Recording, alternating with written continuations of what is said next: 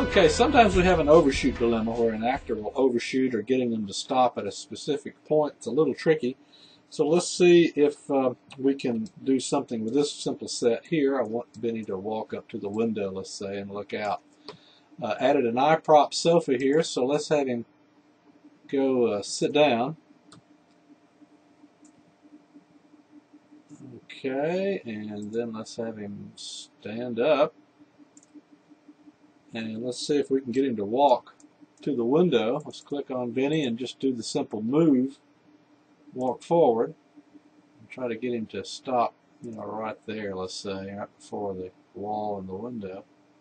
And, uh, yeah, does pretty good doing that. Uh, sometimes it's a little trickier.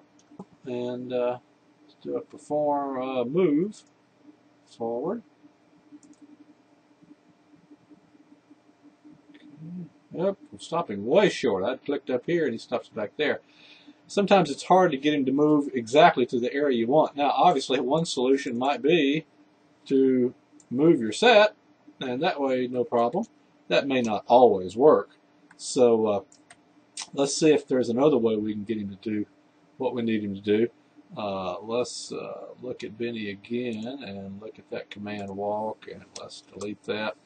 And since he stopped so short, let's see if we can just get him to uh, go past the window and uh, then maybe we can it's getting a little closer but still maybe not as close as I'd like him to get. So let's just take what we've got here and let's create a path and see what happens. Let's create a path and let's drop a node right here and put a node up here and hit escape to get out. Okay, so there we go. So now we've got a path. Let's bring up our animation timeline again here. Let's look at Benny and check, see if we can constrain him to the path. So let's move in here and uh, path's a little off, so maybe let's tweak that path ever so slightly. Let's let's grab that. Let's move it over here more between the feet. There we go. Okay, so now let's uh, select Benny and, uh, let's select Benny that way. Okay, and let's move around here and let's pick a path. Let's pick that first node there. Okay, now he's on the path. He's constrained to that one point on the path. And of course, I think what will happen is he'll kind of slip and walk into place. Now we want him to get to here.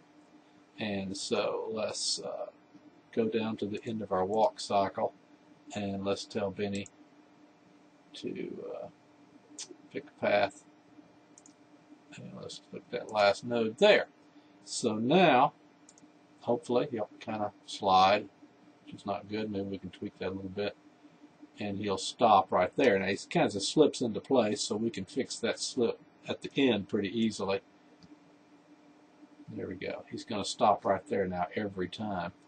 And that's good. Let's see if we can make this opening slide a little less problematic by sliding that a little bit down that node point.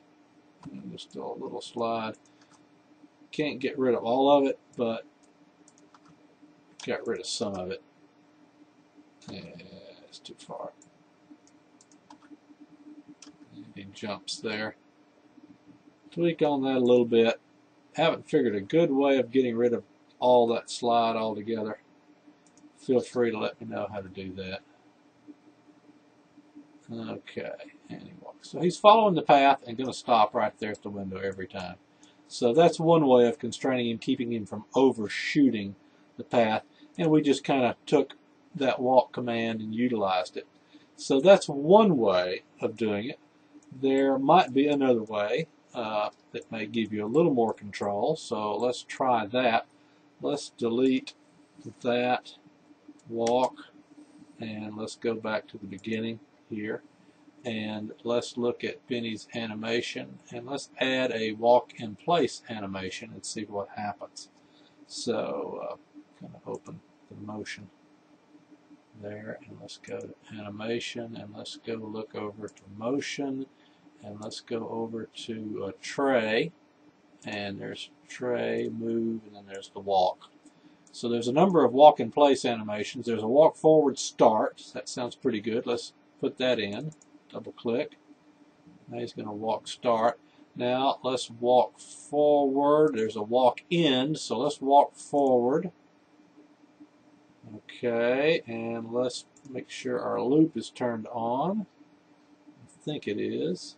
Uh, there. Uh, where's the loop?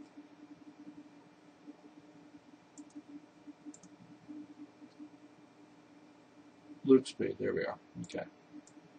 It's looping. Let's loop it three or four times. Okay, and let's stick an end animation in there. There's a walk end. Okay, so let's slide that down to get it a little better.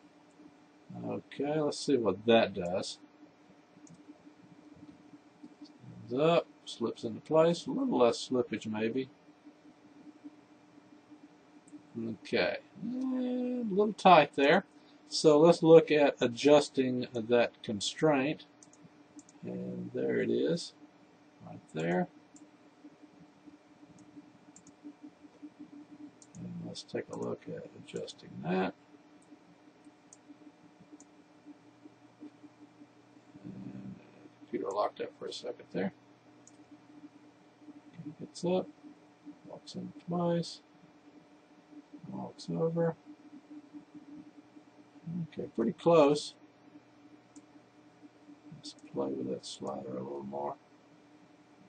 Yeah, a little too much slippage there. There we go, pretty close.